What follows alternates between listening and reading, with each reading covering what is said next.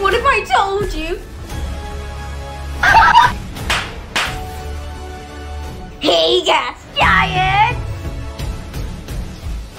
Whack Punch Show episode 7 coming out tomorrow.